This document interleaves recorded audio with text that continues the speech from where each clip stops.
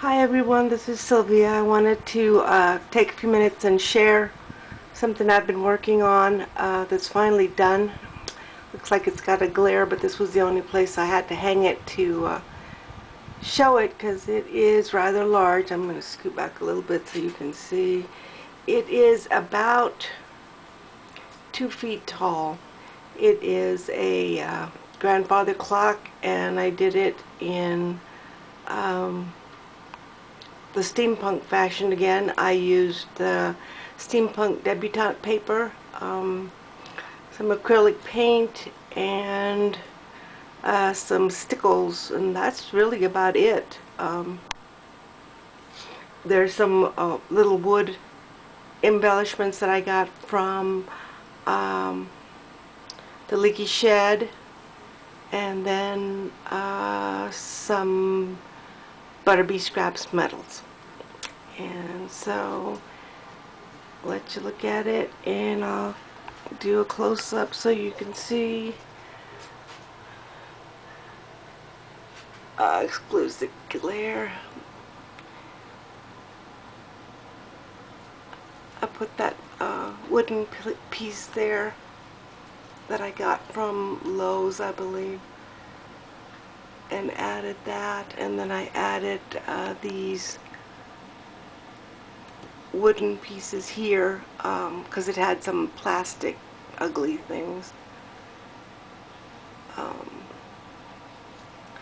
anyway there's some chipboard pieces inside the glass um, the round part of the of the clock is uh, popped out and I forget what this little guy's name is, but I really liked him. I wanted him to be right the center there.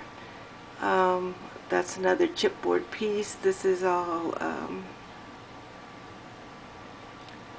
Leaky Shed Studio, this one and this one. This is all just paper. Um, These I don't remember where I got them. These two are leftover Crafty Embleys pieces that I wanted to use up. Uh, these are Butterbee Scraps. Uh, and that's Butterbee Scraps there, all that. These are all chipboard pieces. Um, I believe that one is called the Craftsman, and I don't remember what who makes that one, but it's craft craftsman collection. This is all um, paper from the Steampunk Debutante. There is uh, watch parts here, another uh, piece of wood there, watch pieces, another chipboard piece. Butterbee Scraps, Butterbee Scraps, Butterbee Scraps. Uh, these two here, this one, the Praying Mantis and the Dragonfly are Leaky Shed Studio. Um, I love the crow with his crown there.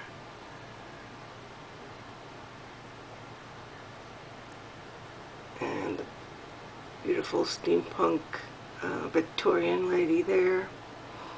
Then down here, um, I really did like four layers of, of uh, 3D effect. I didn't realize till after I got it all put together that I put the two balloons, one right in front of the other, but I just left it. I may change it later on, I don't know. Um, there's gears down in here flowers from the paper that I just stickled, um, gears. There's a wooden butterfly uh, from the leaky shed and another paper butterfly on top of it. Um, the lady here came out really nice. I wish I could get it. Uh, she's real dimensional. I left her um, picture underneath and I, I uh, expanded her up twice, so uh, in person she really looks really looks three-dimensional. She really looks real, like she's coming out of the paper. Um, another clock piece. That's chipboard, and this one's chipboard. And there's another uh, lady down um, behind the behind the light bulb. There's another another lady, but you can't see her because of the shadows. But anyway, I just wanted to share that with you. I'm very proud of it. I think it came out really neat. It, um, again, was, you know, not a whole lot um, of different collections to it or anything, uh, but it did take quite a bit of time. There's, like I said, there's several different layers to that. Um, and then I I rub and buffed it with some gold at the very end, so it's got rub and buff all over it. I even, let me see if I can do this without making you anybody sick, but on the sides here, I added the paper all along the side, up on the top, on both of them, and along the bottom.